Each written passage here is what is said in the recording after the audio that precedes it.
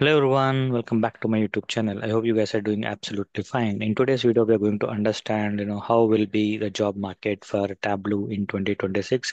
What are the skill sets that we need to understand, and you know, Along with that, uh, we'll also see why Tableau will matter in 2026. So, BI is a very niche skill that every organization needs today. And among them, Tableau and Power BI, these two are the market leaders. So, you will always find opportunities related to Tableau and Power BI in industry. And Tableau remains, you know, one of the most requested, you know, tool in the industry because of the flexibility that it offers. So I understand there are some concerns related to that. If I speak honestly, maybe cost wise, you know, it is very high compared to Power BI, and because of that, you know, I agree uh, that you know a lot of clients we are.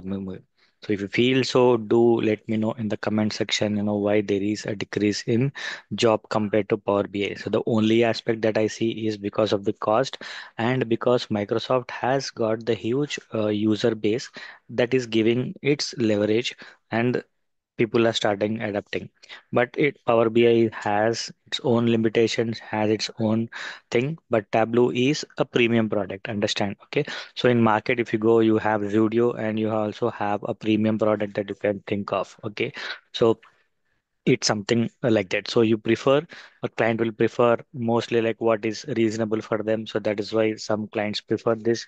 But if some clients are very interested that they need only good tool which can handle large volume and all and a good visualization good interactivity then you will see they are sticking to tableau. So and no doubt you know tableau is also evolving more in ai space Okay, so you will see a lot of opportunities coming in this space, and it has also acquired Informatica. So, you know, expect that you know the user base Tableau has as of now, it will increase a lot in coming days. So that's my take. So you can add your comments in the comment section. So that's about you know uh, why Tableau will matter as of now, and so, what are the salaries that we are expecting, uh, or what is the salary trend, at least that I have seen in uh, 2025? So, maybe for freshers, we are getting somewhere around three to, you know, five LPA we are getting, and experienced, I have seen, like say, mid experience, if I say we are getting uh, six to 15, and uh, uh, if they are seniors, I have seen more than 20, 20 plus I have seen. So, Many subscribers from our channel have landed a job on Tableau with more than 20 LPA.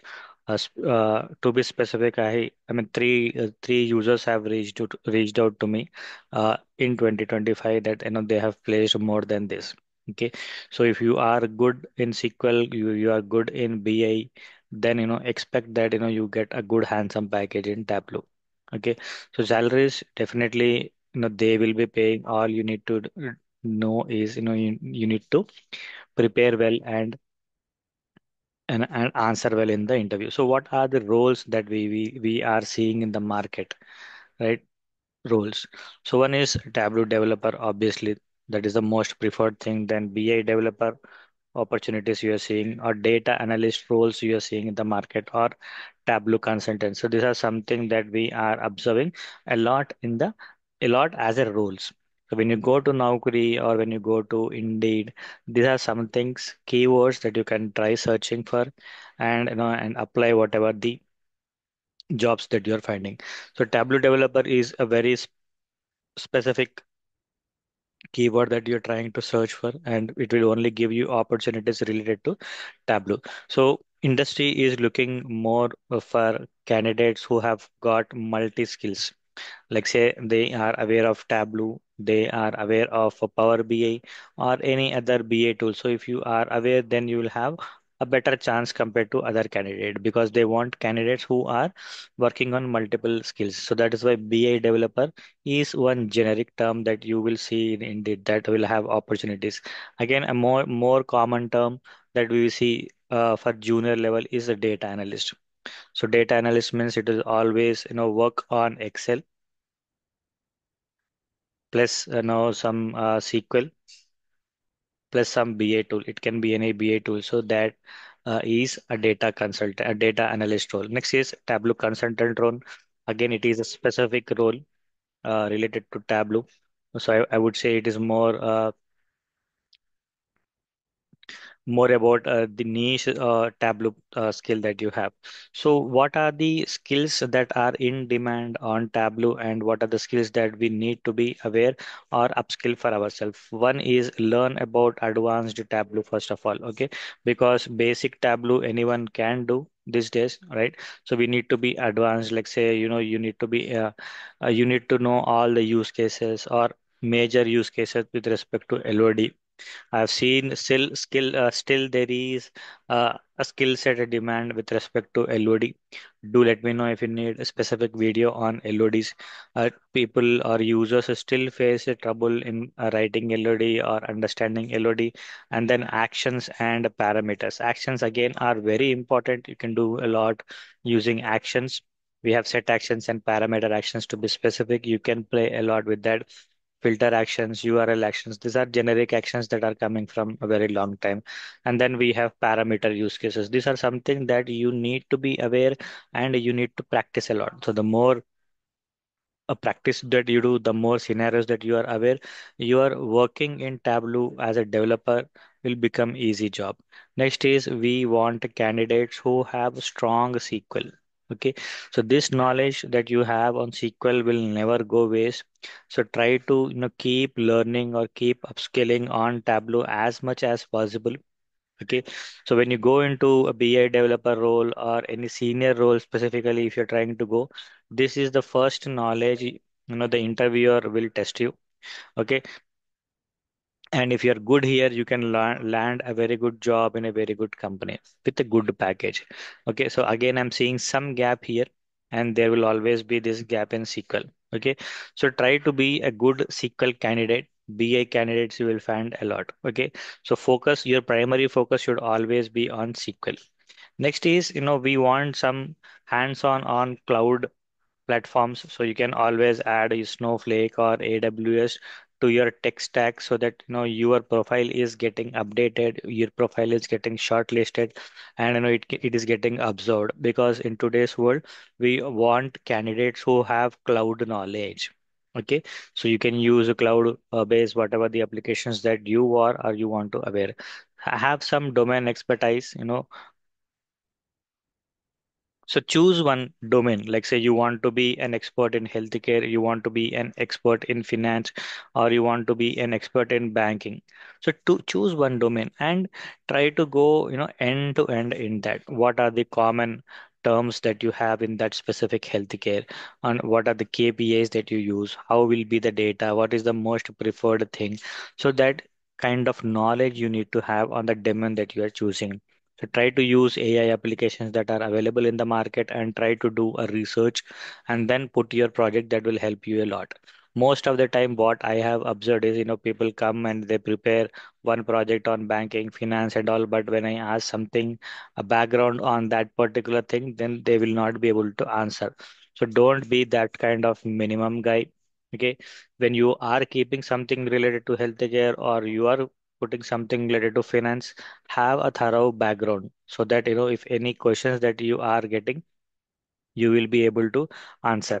Okay, so next is storytelling. Okay, try to create some dashboard so that you know you can have a good compelling storytelling right? Because dashboard creation is always related to number of dashboards that you have created in real time. I know not all of might have experience of creating dashboards.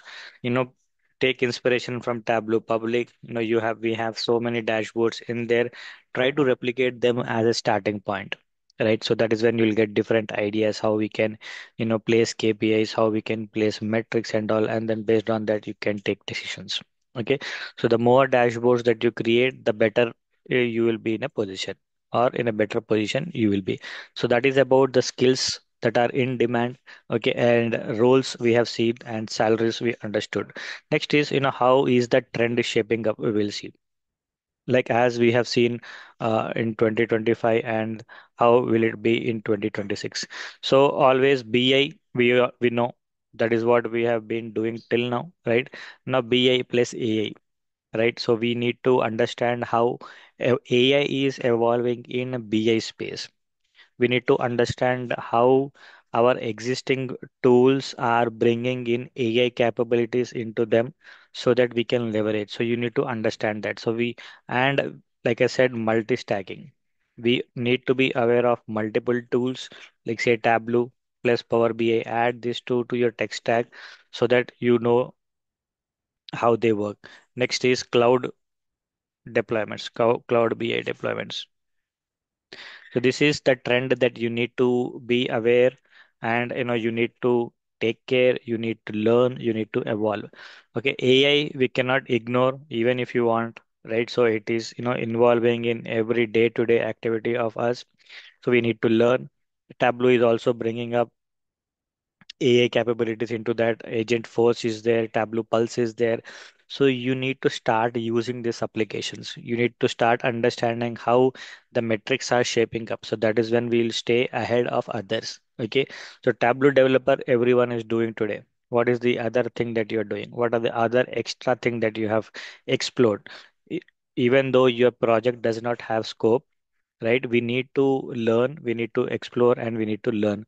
Do let me know if you need any video on this. I think I've created a video on, on Agentforce. You can try to see how that is working. It is a very advanced tool that is that a Tableau has brought in.